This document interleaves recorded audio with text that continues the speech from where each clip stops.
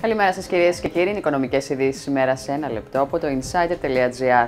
Υπέρ της γαλλικής πρότασης που προβλέπει η σύνδεση της ελάφρυνσης του εχρέου με τους ρυθμούς ανάκαμψης της ελληνικής οικονομίας, τάχθηκε ο Πιέρ Μοσκοβισή, η οποία αποτελεί ένα μέσο δρόμο ανάμεσα στο κούρεμα του χρέους και τη μη λήψη μέτρων ελάφρυνσης. Ο Ευρωπαίος Επίτροπος Οικονομικών σε εκδήλωση του Economy στην Αθήνα σημείωσε ότι η πρόταση αυτή συζητήθηκε στο τελευταίο Eurogroup από τα κράτη-μέλη της Ευρωζώνης, συμπεριλαμβανομένης και της Γερμανίας. Παράλληλα, εξέφρασε την πεποίθησή του ότι η Ελλάδα θα γίνει σύντομα μια κανονική χώρα της Ευρωζώνης με πλήρη δικαιώματα και εθνική κυριαρχία, αρκεί να μείνει προσιλωμένη στις δεσμεύσεις τη.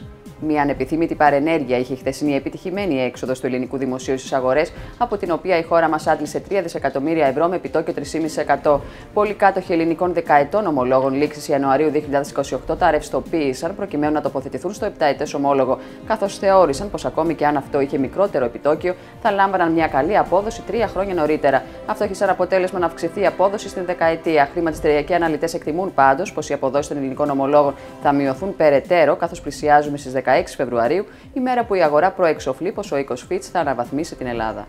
Τους λόγους για τους οποίους ένα περιουσιακό στοιχείο χαρακτηρίζεται ως φούσκα και πώς μπορούν οι επενδυτές να αναγνωρίσουν τέτοιου είδους επενδύσεις, εξηγεί ο ποσοτικός αναλυτής της Saxo Bank Anders Nistrin, κάνοντας μια σύγκριση ανάμεσα στη μετοχή της Amazon, που από τα 40 δολάρια το 2005 έχει εκτιναχθεί σήμερα στα 1431, και το Bitcoin, που η τιμή του αυξάνεται πάρα πολύ γρήγορα, με υπερθετικό τρόπο, όπως ονομάζεται στη χρηματιστηριακή γλώσσα, κάθε χρόνο από το 2015.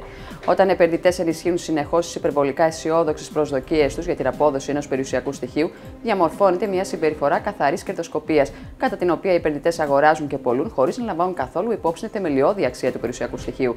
Κανείς βέβαια δεν μπορεί να είναι σίγουρος, καταλήγει ο αναλυτής, μέχρι τη στιγμή βέβαια που ακούγεται το BAM.